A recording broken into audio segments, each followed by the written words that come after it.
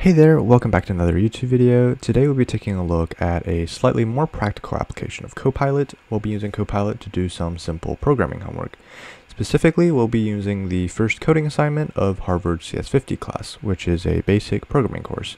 It is completely free and online, so you can also check it out for yourself as well. Um, so if we go to the website, the first uh, programming assignment is actually Mario. The main idea of the assignment is to print out uh, these hashtags in the format to imitate the appearance of these triangle pyramids um, in the actual Nintendo Super Mario Brothers game.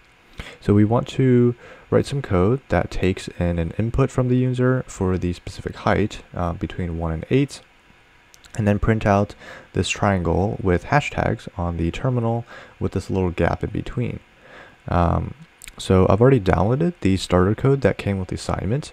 Uh, in order to help Copilot get started, uh, we'll provide it with a few examples of the expected behavior um, so it knows exactly what we're trying to do. I've already prepared this beforehand. And uh, now let's have it do its magic.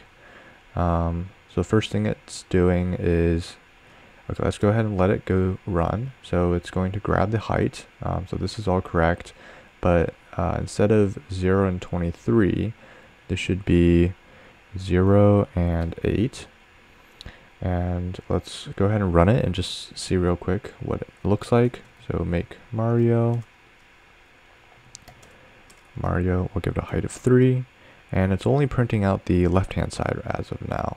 Um, so let's go ahead and take a look at what's wrong with the code. It's only doing part of the expected behavior. Um, let's see here. So it's printing out the spaces beforehand and it's printing out the hashtags. Um, first of all, it has an off by one here. It's printing off the first thing with two. We only want it to start with one. Um, this is not the best way to fix the problem, but the easiest would just be for us to start one less. Um, so now, if we do this, uh, I did not update it. There we go. Now it's printing out the left-hand side of the triangle without issues. Now we have to have it print out the right-hand side plus the spaces. So what we can do here is just have it print out a space or two spaces. So print f. Let's see if we can.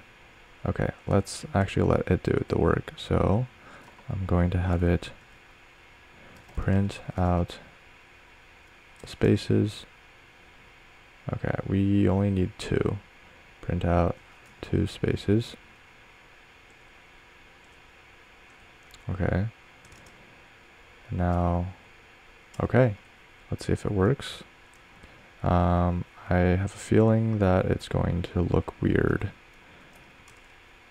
Or it does work. Um, so there it is. We can go ahead and try out with some other inputs. Try 9, of course it's not going to work. If we try negative 1, it's not going to work. Try 5, and that is the assignment complete. So this is a slightly more uh, practical application of Copilot, although I do not condone cheating. Um, you can see it is quite helpful in taking out a bulk portion of the necessary brain power that's necessary to do some of these assignments and similarly, um, when you're coding any other practical application, I think Copilot does help a little bit with that as well. Thank you so much for watching. Um, and I hope you enjoyed. If you did, leave a like down below and let me know in the comments if there's anything else you would like me to take a look at. Thank you so much for watching, and I'll see you in the next one.